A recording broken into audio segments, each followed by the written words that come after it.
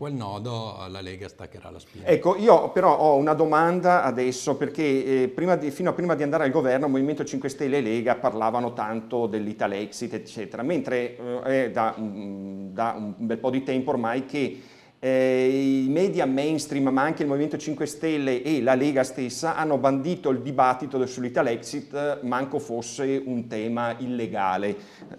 e, ehm, stanno aspettando questi partiti che l'euro imploda per cause esterne, così per evitare anche lo sporco lavoro dell'Italexit, o l'hanno, metabolizzato e accettato completamente con una giravolta evidentemente? Ma Marco Mori. Eh, la battaglia all'euro era soltanto un modo per prendere consenso elettorale, tutto qua. Era semplicemente una facciata, aumentare il consenso e poi questo consenso andava disattivato eh, nulla di nuovo, nulla di sorprendente. L'inversione a U della Lega era annunciata da tempo, era ovvia, era scontata. La Lega è un partito liberista. Quindi un partito liberista è un partito per definizione favorevole all'Unione Europea, favorevole agli interessi del potere economico internazionale. Chiarissimo. Sono dubbi. Chiarissimo. E mh, parlate di di un problema interno nella Lega, non esiste problema interno. Io quando parlai ai tempi con Claudio Borghi, quando mi chiese fondamentalmente di entrare con loro e diventare responsabile economico per la regione Liguria, eccetera, eccetera, e glielo dissi chiaro, ho detto ma Claudio tu sei minoranza o maggioranza in Lega? E lui mi rispose che era netta minoranza, non c'è proprio partita. I sovranisti sono entrati in Lega, qualche sovranista è entrato in Lega perché è stato utilizzato, è stato usato per ovviamente attirare consenso, ma tutto qui. Il resto del partito è una solita cloaca liberista e purtroppo la Lega è una grandissima sciagura per il Paese. Se non ce ne liberiamo siamo spacciati, il disegno si compierà, l'euro non sta per implodere, l'austerità era un mezzo per raggiungere un fine e stanno raggiungendo il fine. Attraverso poi l'eliminazione dell'austerità ci convinceranno alle ultime cessioni di sovranità è come, totalmente chiaro. Mm, come, possiamo, repli- come replica Amodeo?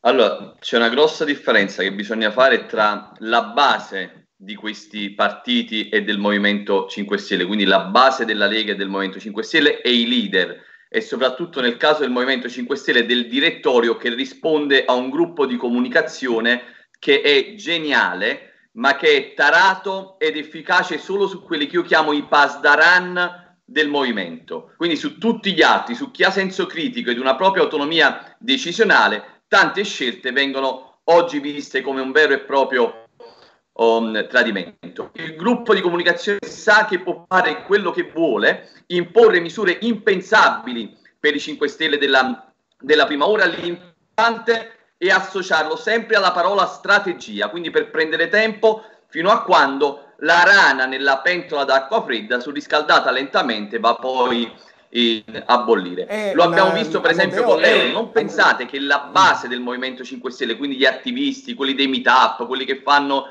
i, i banchetti per strada, siano a favore ehm, dell'euro, perché secondo me, me ne rendo conto, sono estremamente contrari all'euro, ma non si rendono conto di essere all'interno di un movimento che invece fondamentalmente è europeista nella maniera più assoluta, quindi assolutamente sempre stato um, pro euro, ma questo la base non lo sa, quindi bisogna avere verso la base un approccio meno aggressivo, bisogna realmente tendergli la mano e piano piano insieme a loro fare emergere le incongruenze di quello che è un direttorio che ripeto risponde a un gruppo oh, di comunicazione che ha idee diametralmente opposte a quello della, eh, della base. Voi ricorderete che con la questione dell'euro hanno cominciato dicendo che bisognava eh, fare un referendum, quindi bisognava aspettare di arrivare in Parlamento.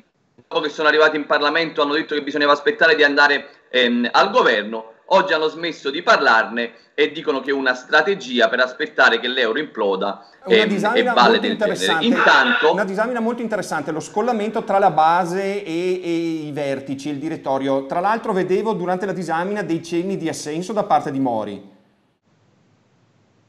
Sì, sì, beh, è chiaro, insomma, che cos'è il 5 Stelle, come funziona, quali sono le dinamiche interne, sono note, quindi annuivo perché ero perfettamente d'accordo. Ecco, quindi c'è uno scollamento tra la base, tra il popolo, diciamo, e i vertici. Mentre, ecco, ritornando comunque sulla Lega, ehm, sì. quali sono invece, ecco lì, stavamo parlando eh, poco fa, ehm, quali sono le problematiche, ehm, ci sono problematiche analoghe, intendo, tra la base e, e i vertici, Amodeo? No, eh Con la Lega il discorso è diverso rispetto a quanto abbiamo detto con il 5 Stelle. Nel 5 Stelle c'è uno scollamento tra i leader, il gruppo di comunicazione e la base originaria, mentre all'interno della Lega c'è uno scollamento all'interno dei leader stessi, quindi eh, la spaccatura è interna al gruppo dirigente, dove c'è la vecchia Lega che vorrebbe semplicemente l'autonomia delle regioni del nord per avvicinarle ai nostri carnefici, ossia alle um, regioni della Francia e della Germania, con quel progetto che si chiama di macro regione ehm, alpina, che è stato um, sottoscritto anche da, da Zaia. Quindi ehm, è la fine in quel caso del sovranismo in Italia, c'è la possibilità di rendere autonome delle regioni e avvicinarle come macro regione alpina alle regioni della, della Baviera della, e del, della Francia. Quindi ehm, in quel caso il braccio di ferro è tutto interno. E poi c'è quel gruppo invece che fa